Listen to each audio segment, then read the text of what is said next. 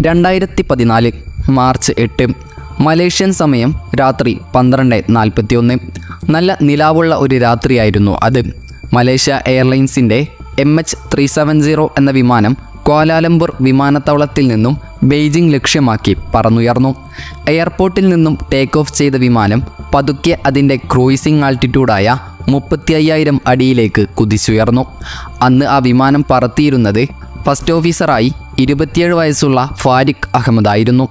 അത് അദ്ദേഹത്തിന്റെ training flight ആയിരുന്നു അദ്ദേഹം ഒരു സർട്ടിഫൈഡ് പൈലറ്റ് ആവുന്നതിന് മുൻപുള്ള അവസാനത്തെ കടമ്പ.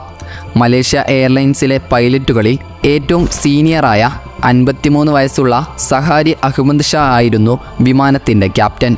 കൂടാതെ ക്യാബിനുള്ളിൽ പത്ത് ഫ്ലൈറ്റ് അറ്റൻഡേഴ്സുമാരും അഞ്ച് കുട്ടികളടക്കം ഇരുന്നൂറ്റി ഇരുപത്തിയേഴ് യാത്രക്കാരുമായിരുന്നു ഉണ്ടായിരുന്നത്. വിമാനം പറന്നുയർന്ന് ഏതാണ്ട് അരമണിക്കൂർ കൊണ്ട് മലേഷ്യ വിട്ട് വിയറ്റ്നാം വ്യോമാതിർത്തിയിലേക്ക് വിമാനം കടന്നിരുന്നു. പിന്നെയാണ് ലോകം കണ്ട ഏറ്റവും വലിയ രഹസ്യമായി Malaysia Airlines M H three seven zero മാറിയത്. അതായത് അതിനുശേഷം ആ വിമാനത്തെക്കുറിച്ച് പിന്നീട് ഒരറിവും ലഭിച്ചിട്ടില്ല. വിമാനത്തിലെ ഒരു സാങ്കേതിക ഉപകരണങ്ങളും പിന്നീട് പ്രവർത്തിച്ചിട്ടില്ല. ഏതാനും മിനിറ്റുകൾക്ക് ശേഷം റഡാർ പരിധിയിൽ നിന്നും ആ വിമാനം അപ്രത്യക്ഷമായി. പക്ഷേ മിലിറ്ററി റഡാറുകളിൽ വിമാനത്തിന്റെ സിഗ്നലുകൾ ഏതാനും നേരത്തേക്ക് കൂടി പതിഞ്ഞിരുന്നു. അത് പരിശോധിച്ചതോടെ എയർ ട്രാഫിക് കൺട്രോളിലെ ഭീതി വർദ്ധിച്ചു. കാരണം വിമാനം പോകേണ്ട ദിശയിൽ നിന്നും മാറി മലേഷ്യക്ക് കുറുകെ ആൻഡമാൻ കടലിലേക്ക് നേരെ വിമാനം തിരിച്ചു പറന്നിരിക്കുന്നു. വിമാനം ബീജിങ്ങിൽ ലാൻഡ് ചെയ്യേണ്ട സമയം കഴിഞ്ഞതോടെ വാർത്ത ലോകമെമ്പാടും പരന്നു തുടങ്ങി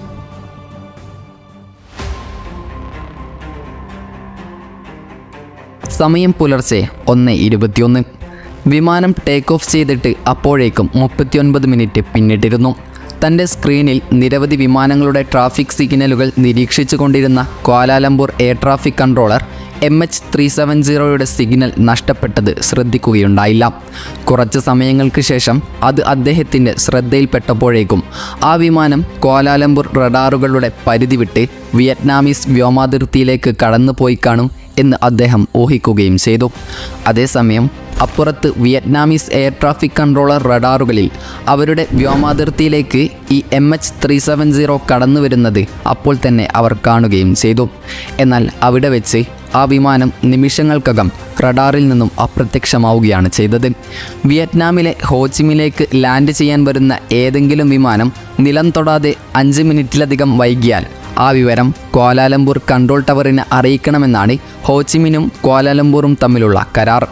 അതിനാൽ തന്നെ അവർ വിമാനവുമായി ബന്ധപ്പെടാൻ തുടർച്ചയായി ശ്രമിച്ചു. എന്നാൽ അത് വിജയിക്കാതിരുന്നപ്പോൾ അവർ കോലാലംപൂരിലേക്ക് ഫോൺ വഴി ബന്ധപ്പെട്ടു. പക്ഷേ അപ്പോഴേക്കും അവർ ഏറെ വൈകിയിരുന്നു. വിമാനം റഡാർ സ്ക്രീനിൽ നിന്നും മാഞ്ഞുപോയി പതിനെട്ട് മിനിറ്റ് കഴിഞ്ഞിട്ടാണ് അവർ വിവരം കോലാലംപൂരിൽ അറിയിക്കുന്നത്. Good night Malaysian three seven zero. അതായിരുന്നു ലോകം M H three seven zero എന്ന ആ വിമാനത്തിൽ നിന്നും കേട്ട അവസാനത്തെ കമ്മ്യൂണിക്കേഷൻ. പിന്നെ നടന്നത് M H three seven zero എന്ന വിമാനത്തിന് വേണ്ടിയുള്ള ലോകം കണ്ട ഏറ്റവും വലിയ തിരച്ചിലുകളായിരുന്നു. ആദ്യഘട്ട അന്വേഷണങ്ങൾ ദക്ഷിണ ചൈന സമുദ്രം കേന്ദ്രീകരിച്ച് മലേഷ്യക്കും വിയറ്റ്നാമിനും ഇടയിലായിരുന്നു നടത്തപ്പെട്ടത്. അത് ഏഴു രാജ്യങ്ങളിൽ നിന്നുള്ള മുപ്പത്തിനാല് കപ്പലുകളും ഇരുപത്തിയെട്ട് വിമാനങ്ങളും ചേർന്നുള്ള ഒരു സംയുക്ത ശ്രമമായിരുന്നു. പക്ഷേ അതിലൊന്നും വിമാനത്തിന്റെ പൊടി പോലും കണ്ടെത്താനായില്ല. എന്നാൽ ദിവസങ്ങൾക്കകം മറ്റൊരു ഞെട്ടിപ്പിക്കുന്ന വിവരം വെളിച്ചത്തു വന്നു. എയർ ട്രാഫിക് കൺട്രോൾ ടവറുകളിൽ നിന്നും ശേഖരിച്ച ഡാറ്റയും മലേഷ്യൻ എയർഫോഴ്സിന്റെ രഹസ്യ വിവരങ്ങളുമൊക്കെ ചേർത്ത് വെച്ച് വിശകലനം ചെയ്തപ്പോൾ അവർക്ക് ഒരു കാര്യം മനസ്സിലായി. M H three seven zero Vietnam റഡാറിൽ നിന്നും അപ്രത്യക്ഷമായതിനു പിന്നാലെ വളരെ പെട്ടെന്ന് തന്നെ അത് തെക്ക് പടിഞ്ഞാറ് ദിക്കിലേക്ക് തിരിഞ്ഞിരുന്നു അത്രേ. അവിടെ നിന്നും അത് മലായ് പെനിൻസുലയിലൂടെ പെനാങ് ദ്വീപ് വഴി പറന്നിരുന്നു. അവിടെ നിന്നും വടക്ക് പടിഞ്ഞാറ് മലാക്ക വഴി ആൻഡമാൻ കടലിലേക്കാണ് വിമാനം പോയിരുന്നത്. അവിടെ വെച്ച് റഡാറുകളിൽ നിന്നൊക്കെ മാഞ്ഞു പോവുകയുമാണ് ചെയ്തത്.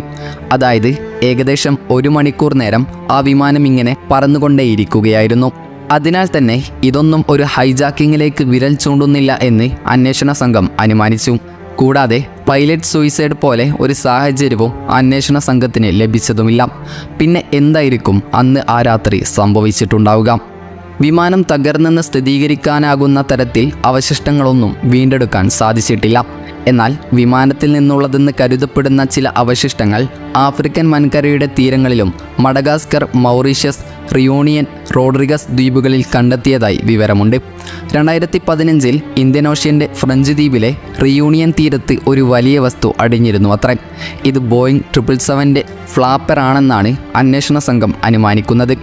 രണ്ടായിരത്തി പതിനാറ് ഫെബ്രുവരിയിൽ മൊസാംബിക് തീരത്ത് ത്രികോണാകൃതിയിലുള്ള ഒരു ഫൈബർ ഗ്ലാസും നോ സ്റ്റെപ്പ് എന്നെഴുതിയ ഒരു അലൂമിനിയവും അടിഞ്ഞിരുന്നു. ടാൻസാനിയൻ ദ്വീപിലടിഞ്ഞ ഒരു വിമാനത്തിന്റെ വിങ് ഫ്ലാപ്പ് ബോയിങ് ട്രിപ്പിൾ സെവനിന്റേതാണെന്ന് ഓസ്ട്രേലിയൻ സർക്കാർ സ്ഥിരീകരിച്ചിരുന്നു. ഓസ്ട്രേലിയൻ ട്രാൻസ്പോർട്ടി സേഫ്റ്റി ബ്യൂറോ ആയിരുന്നു അവശിഷ്ടം ബോയിങ് ട്രിപ്പിൾ സെവനുമായി ഒത്തുനോക്കുകയും ഉറപ്പിക്കുകയും ചെയ്തത്. പക്ഷേ ഇത് എം എച്ച് ത്രീ സെവൻ സീറോയിന്റെതാണെന്ന് ഹൺഡ്രഡ് പെർസെന്റേജ് ഉറപ്പിച്ച് പറയാൻ സാധിക്കില്ല എന്നതാണ് സത്യം. അതിനാൽ തന്നെ ഈ വിമാനത്തിന്റെ തിരോധാനവുമായി ബന്ധപ്പെട്ട് ഒരുപാട് തിയറികൾ ഇന്ന് നിലവിലുണ്ട്. അതിലെ ഏറ്റവും വ്യാപകമായ ഒരു തിയറി വിമാനത്തിന്റെ ക്യാപ്റ്റനുമായി ബന്ധപ്പെട്ടതാണ്. അതായത് വിമാനം ടേക്ക് ഓഫ് ചെയ്താൽ സാധാരണഗതിക്ക് ഓട്ടോ പൈലറ്റ് മോഡിലായിരിക്കും വിമാനം ഉണ്ടാവുക. ഇവിടെ വ്യക്തമാകുന്ന കാര്യം വിമാനത്തിന്റെ രണ്ട് പൈലറ്റുകളിൽ ഒരാൾ മറ്റേയാളെ കോക്പിറ്റിൽ വെച്ച് കൊല്ലുകയോ അല്ലെങ്കിൽ കോക്പിറ്റിന് പുറത്താക്കി വാതിലടക്കുകയോ ചെയ്ത ശേഷം വിമാനത്തെ ഓട്ടോ പൈലറ്റ് മോഡിൽ നിന്നും മാറ്റി വിമാനത്തിന്റെ നിയന്ത്രണം സ്വയം ഏറ്റെടുത്തിട്ടുണ്ട്. അതേയാൾ തന്നെ ക്യാബിനെ ഡീപ്രഷറൈസ് ചെയ്തിട്ടുമുണ്ട് എന്നും സാഹചര്യ തെളിവുകൾ സൂചിപ്പിക്കുന്നു. ഡീപ്രഷറൈസ് ചെയ്യുക എന്ന ഉദ്ദേശത്തോടു കൂടി സാധാരണയിൽ കൂടിയ ഉയരത്തിലേക്ക് വിമാനത്തെ പെട്ടെന്നുയർത്തുകയായിരുന്നു. പതിമൂവായിരം അടി ഉയരത്തിൽ പതിനഞ്ച് മിനിറ്റ് നേരത്തേക്കുള്ള ശ്വാസവായു മാത്രമേ ഓക്സിജൻ മാസ്കിന് ഫലപ്രദമായി നൽകാനാവുകയുള്ളൂ.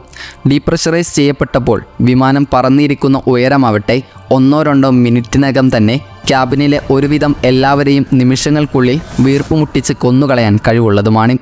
എന്നാൽ കോക്പിറ്റിലേക്കുള്ള ഓക്സിജൻ സപ്ലൈ വേറെയാണ്. അതിന് മണിക്കൂറുകൾ പ്രവർത്തിക്കാൻ വേണ്ട സിലിണ്ടറുകളുണ്ട്. ഇതാണ് വിമാനത്തിന്റെ തിരോധാനവുമായി ബന്ധപ്പെട്ട ഒരു തിയറി. ഇത്തരത്തിൽ ഒരുപാട് തിയറികൾ ഇന്റർനെറ്റിൽ നിങ്ങൾക്ക് കാണാൻ സാധിക്കും. നാല് വർഷം നീണ്ടുനിന്ന തിരച്ചിലിനും അന്വേഷണത്തിനും ശേഷം നാനൂറ്റി തൊണ്ണൂറ്റിയഞ്ച് പേജുകളുള്ള ഒരു റിപ്പോർട്ട് സർക്കാർ പുറത്തുവിട്ടിരുന്നു. എന്നാൽ വിമാനത്തിന് എന്ത് സംഭവിച്ചു എന്നത് കണ്ടെത്താൻ സാധിക്കാതെയാണ് റിപ്പോർട്ട് അവസാനിക്കുന്നതും. സുരക്ഷാന്വേഷണ സംഘത്തിന്റെ തലവനായ കോക്സു ചോൻ വിമാനം ഹൈജാക്ക് ചെയ്യപ്പെടാനുള്ള സാധ്യതകൾ തള്ളിക്കളഞ്ഞില്ല. പക്ഷേ എന്താണ് എന്തിനാണ് ഹൈജാക്ക് നടത്തിയത് എന്നതിൽ വ്യക്തത വരുത്താൻ അദ്ദേഹത്തിനുമായിട്ടില്ല. Pilot Zaharie Ahmad Shah first ഓഫീസറായ ഫാരിഖ് അഹമ്മദ് ഹമീദ് എന്നിവരുടെ പശ്ചാത്തലം പൂർണമായും പരിശോധിച്ചായിരുന്നു റിപ്പോർട്ട് തയ്യാറാക്കിയത്. എന്നാൽ അതിലൊന്നും അസ്വാഭാവികമായി ഒന്നും കണ്ടെത്താൻ സാധിച്ചിരുന്നില്ല. എന്നാൽ ഒരെത്തും പിടിയുമില്ലാതെ മലേഷ്യൻ വിമാനത്തിന്റെ തിരോധാനത്തിന് ഒരു പതിറ്റാണ്ടിന് ശേഷം വീണ്ടും ഒരു അന്വേഷണത്തിന് തയ്യാറെടുക്കുകയാണ് ഓഷ്യൻ ഇൻഫിനിറ്റി. പുതിയ തിരച്ചിൽ ദൗത്യം ഓഷ്യൻ ഇൻഫിനിറ്റിയുമായി ചർച്ച ചെയ്യാൻ മലേഷ്യൻ സർക്കാർ തയ്യാറാണെന്ന് ഔദ്യോഗിക പ്രസ്താവന ഈ അടുത്തിടെ പുറത്തു വന്നിരുന്നു. ഏതായാലും എത്ര തിരച്ചിലുകൾ നടന്നാലും ഇന്നും Malaysian flight M H three seven zero ഭൂമിയിലെ ഏറ്റവും നിഗൂഢമായ ഒരു സംഭവമായി നിലകൊള്ളുന്നു എന്നതാണ് സത്യം.